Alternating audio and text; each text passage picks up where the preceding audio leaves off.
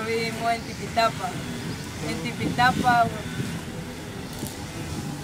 eh,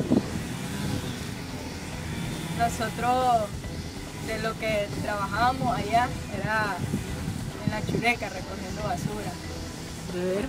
Sí, em, o sea, a mí nunca me ha dado pena el trabajo porque todo trabajo es humilde y sé que, y o sea, eso es lo más duro que yo he, he rodado pues con, mamá y, y yo cuando trabajaba allá, a mí no me daba pena nada porque, o sea, yo sabía que era un trabajo humilde y, y no me importaba lo que dijeran los comentarios pues.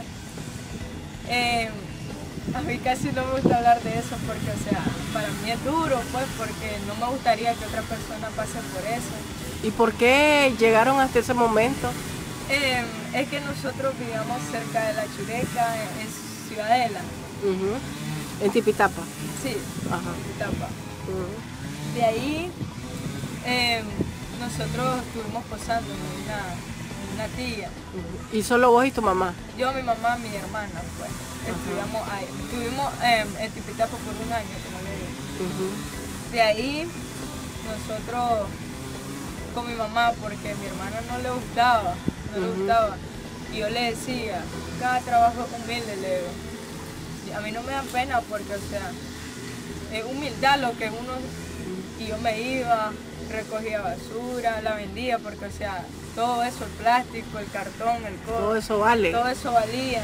¿Y, y cuánto Y- recogían? ¿Cómo, cómo era? ¿Sí? Me- yo me alegraba porque cada vez que llegaban los camiones a botar y yo recogía bastante, yo sabía que era más de algún dinerito para mi mamá, para que nos sustentáramos, pues porque en esa nadie nos regalaba nada.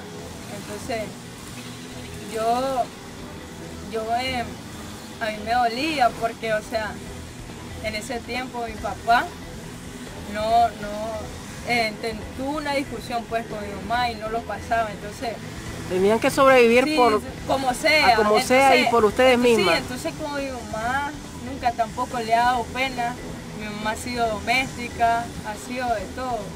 Entonces ella siempre me ha inculcado la humildad, que un trabajo como sea y se cuesta Así es. y que el dinero aquí en Nicaragua cuesta mucho y a como sea. Entonces yo me iba con ella.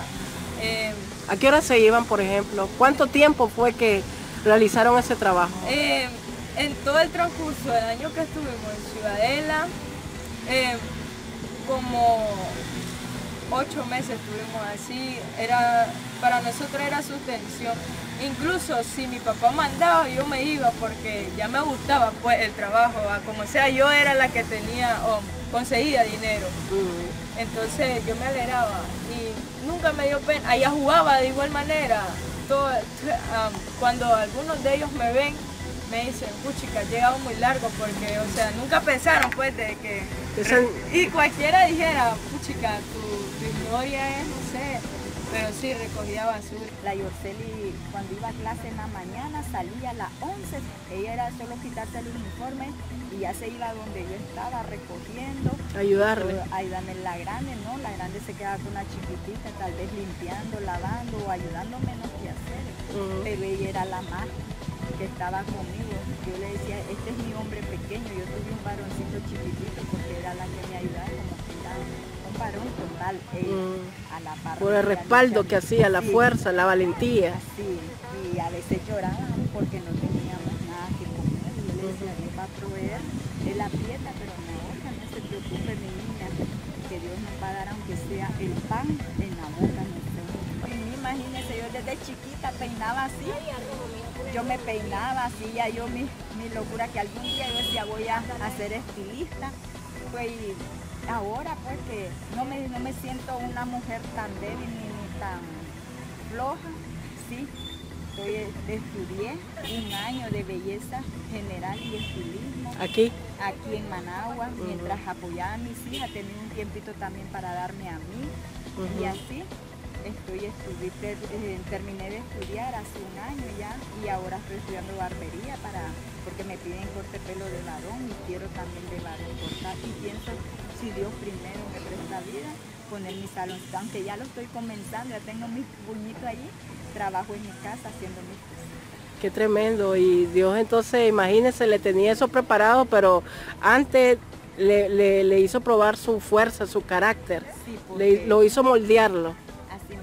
Varias gentes en grupo, y la amante vos no te pusiste tan loca, tantos problemas que tuviste, no, no fuiste una mujer que tiraste la toalla, seguiste y seguiste a tus hijas adelante, porque ni mi familia me dio apoyo, yo fui sola, solo con, con la fuerza del Señor y, y él indicándome lo que yo podía hacer y lo que no podía. Así, no se quebrantó, pese a quizás lágrimas, preocupaciones, estuvo Fueron fuerte usted. lágrimas y mucho, muchas cosas.